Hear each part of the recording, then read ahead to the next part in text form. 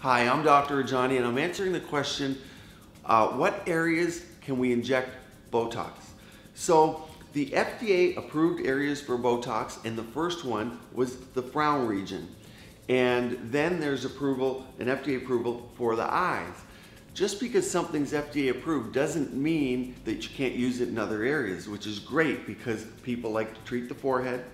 Other common areas include the masseters for facial shaping and for TMJ or pain along the jawline or tooth grinding the depressor anguli oris, so as the mouth turns down as we age. And some people really believe, and I, I do also, that at, after the age of 40, almost everyone should treat the muscles that turn the mouth down because it's a common problem and the muscle tends to strengthen as we age. So treating that once in a while gives a more pleasant, neutral look to the mouth.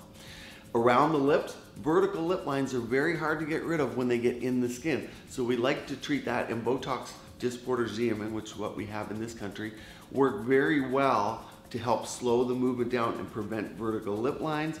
There's other areas such as the bunny lines, the neck, the Nefertiti neck lift, and I have videos on those you can watch. But those are some common areas, and I'd say the three most common areas would be the frown, the eyes, and the forehead. I hope that helps. Thanks for joining me.